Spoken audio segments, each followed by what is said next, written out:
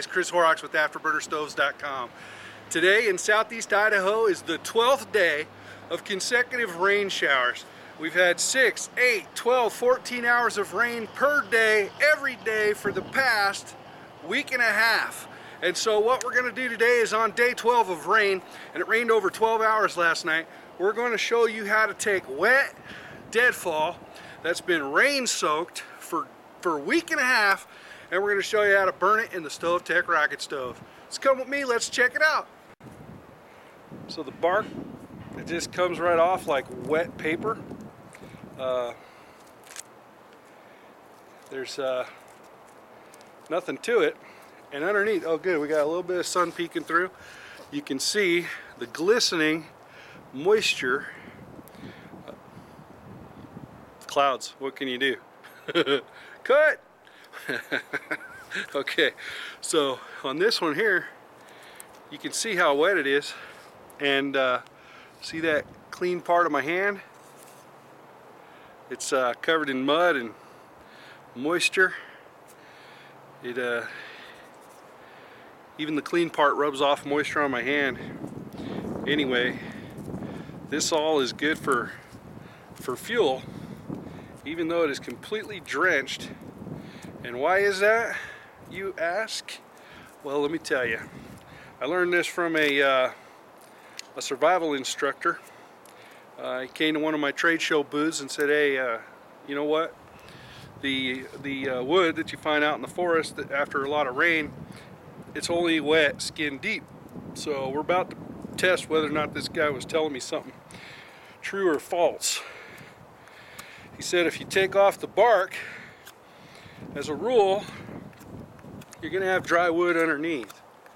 What I'm doing here is uh, using a pocket knife to just sort of shave this and take a look at what he was talking about. Okay, see, so this here is dry where I've peeled off the wet part over here. And then the end, where of course it's been absorbing moisture through this cut surface, is, uh, is moist. But this wood here, this is dry. So even after 12 days of rain, there's a source of dry tinder in every sopping wet stick that you find. So we can go ahead and make wood shavings out of this and then peel a few sticks far enough back to get at this particular dry wood and then we can light our rocket stove uh, using rain-soaked uh, timber. Now another question that people frequently have is uh, is how much do you have to peel and you don't have to peel that much and the reason is the moisture stored in this bark in that just surface area. Uh, if this were a big old log, that'd be quite a bit of, of moisture. And if I throw it on a campfire, then of course what I'm gonna end up with is a situation where uh, a lot of steam is gonna be produced, taking away a lot of heat from the fire. But what happens with the rocket stove is you have that constant draft from the hot chimney and you have a hot, hot combustion chamber and you're feeding the wood in slowly over time and so what's happening is the heat from the combustion chamber and that draft are, are taking the moisture out of that surface as it's getting closer and closer to the fire. So even though it's going to produce a little bit more smoke and steam, um, we don't have to have a completely dry stick.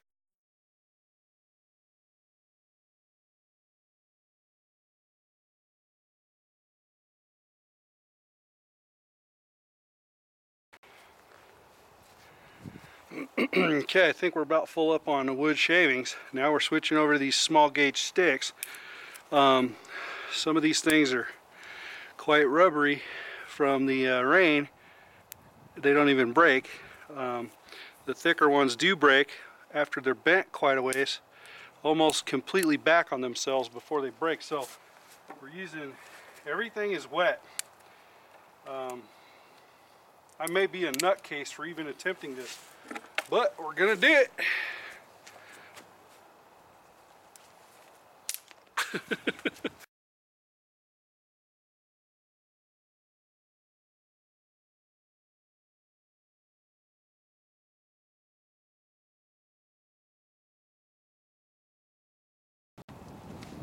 okay, let's give it a shot.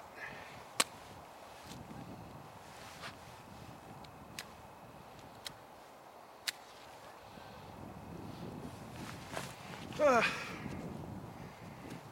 Hatches are going out. Got too much breeze.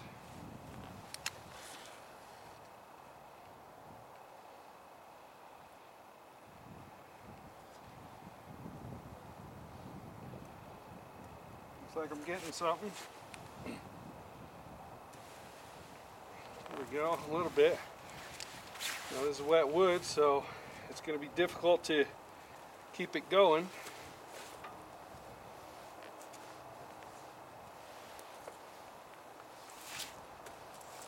Lot of steam and smoke.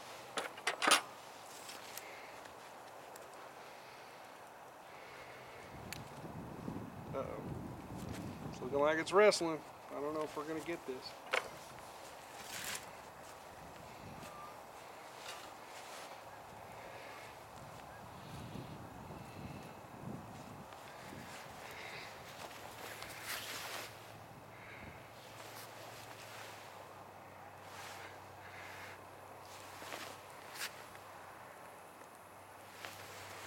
Should have probably lit it down lower.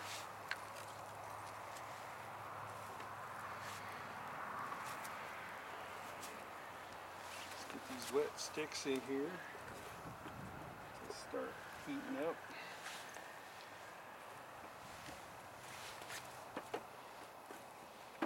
Whew, it's extra stinky. Extra. It's got more of that uh, wet wood smell or you know, unburnt, smoky wood smell.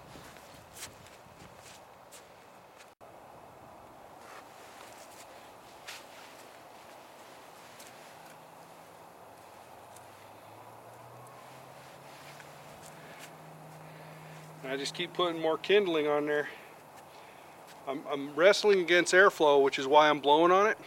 But what I want to do is make sure I have enough thermal mass when my kindling uh, becomes embers to overcome the moisture and thermal mass of my cooking fuel. And so I'm putting a bunch of material right up on top in order to start drying out. And of course that's giving me more steam and smoke.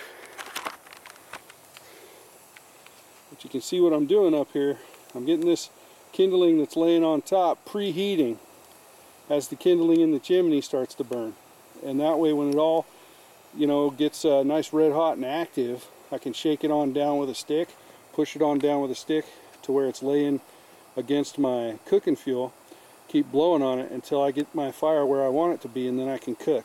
It's just a little bit more hard more difficult when you have the uh, the wet rain wet cooking fuel but that's uh, you know but you can still cook and that's that's the point we'll still be able to prepare a meal uh, even though we've got this challenge. Okay, I tossed another chunk of fat wood in there just to finish bringing it to a full blaze and dry out this extra kindling up top, these bigger sticks, so I can get them to turn into embers because we do need a good bed of coals to overcome the wet wood. I usually tell all my customers in the uh, trade shows that you want to start with a good bed of coals from dry kindling that you brought with you and then you can switch to the to the wood that you find the deadfall that's been moistened by the rain because the sticks dry out as you feed them in but you got to have that hot bed of coals to get her started so we definitely want to get our kindling up top dried and then ignited and burned down into a bed of coals in order to get this fire really going where we want it to go.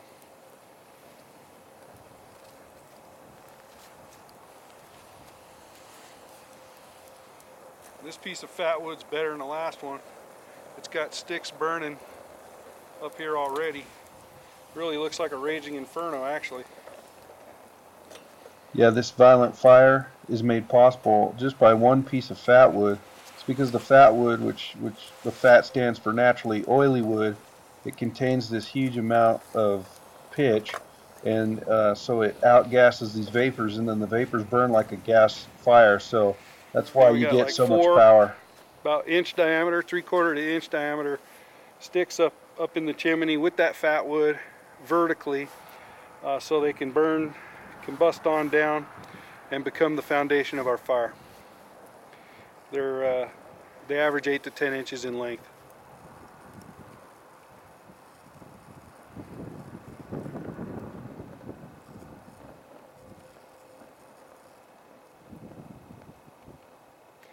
They've definitely cooled off the fire and uh, are producing more steam and robbing the stove of its uh, efficient airflow that it had a minute ago. So that fire is quite a bit lower than it was. But the goal here isn't a high raging fire right now. The goal is to get that kindling ignited and, and down into a bed of coals. What I want to point out here is we're ready to cook. And if I hadn't have put sticks that are too long down the chimney to allow a pot to set up top I'd be cooking already. So if you use shorter shorter pieces to feed down the chimney to create that bed of embers let me show you the bed of embers we're starting to develop.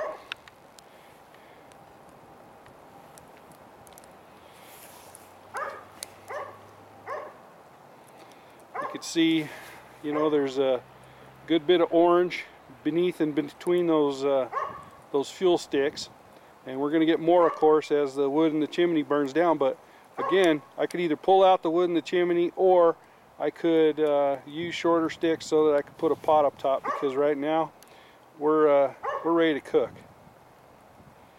And we're burning wood that sopping wet from 12 days of rain. And so uh, it's pretty good how that works. Now, of course, it did require us to use fat wood, two pieces, to get this fire going. And of course, fat wood is available at afterburnerstoves.com and a bunch of other places online. Okay, it's been about eight nine minutes since uh, since you, we talked to you last. And what we want to do now, we got these two sticks, the, the ones that you've been watching throughout the video. But what we want to do now is show you out of the spirit of thoroughness, we want to show you putting more wet sticks in here to fuel the fire and see what happens.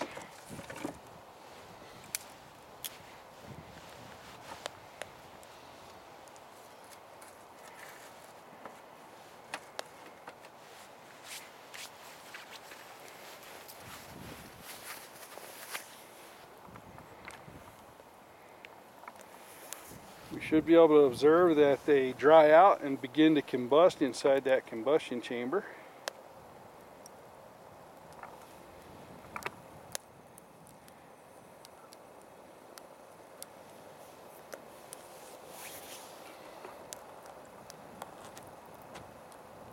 That is just lovely. Isn't that a pretty sight?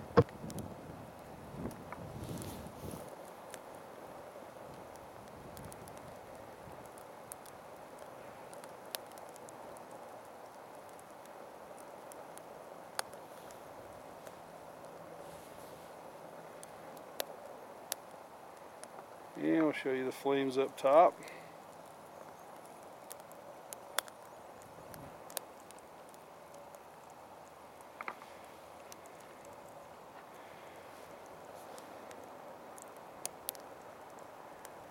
Sun's down of course so we're using the low lux mode on the camera which uh, appears to be a little grainier than the daytime mode.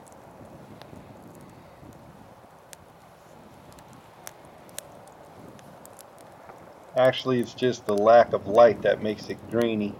Uh, even though the low lux mode can be a little bit grainier, it's the lower the light gets, the more graininess you see on the video. It's the same in security cameras. Yep. And the wet sticks are starting to burn already. So that's it. You just keep feeding it as you need to. And in this case, because you're using thinner sticks, you want to use thinner sticks because they're wet, you can start pre-drying them, get ahead of yourself, put a little extra fuel if you need to bring something to a boil real fast or you need to do some high heat. Anyway, ladies and gentlemen, that's the StoveTec rocket stove using rain-soaked wood. It's been rained on for 12 days. And that's a wrap.